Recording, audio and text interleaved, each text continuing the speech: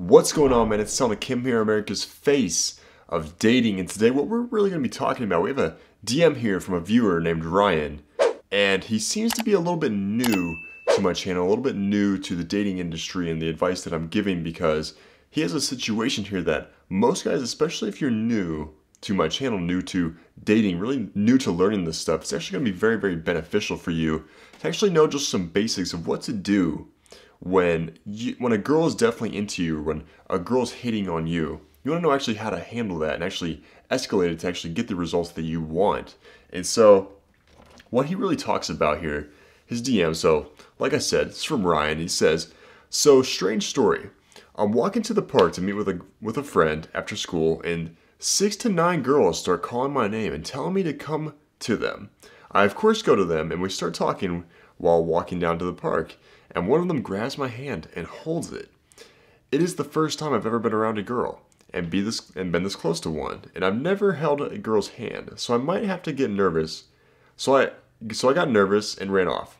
I don't know if I did the right thing or what it means when the girl held my hand. Please tell me what it means. So Ryan, what it probably means is that that girl, she probably had like a little bit of a crush on you, right? And like that, like what that tells me is that you've you like I'm, I'm new. I've never really done this with a girl before. I've never really been around a girl before. So it's you're extremely, extremely new to this world, right? You're extremely new to dating, to attraction, to all the advice that I'm giving here. And so one thing that I would have done there when she really grabbed your hand, it's called the disqualifier.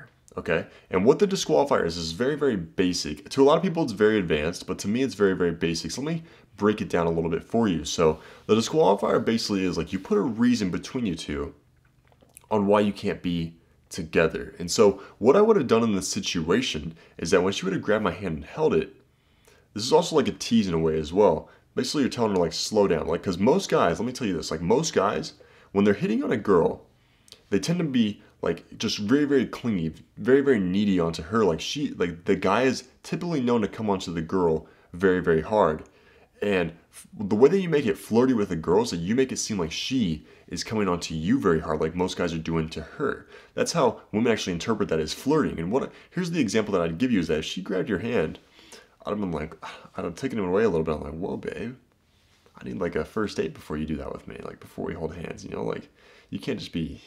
It's like you're going from like zero to fifty like really fast. You're zero to 100 really fast. Like you know, like at least ask me on a date first. You just stare down just like that and smirk. And the girls are like, oh my gosh, like he's bantering back with her. He's like, he must be interested in her. That's what that's called the disqualifier, okay?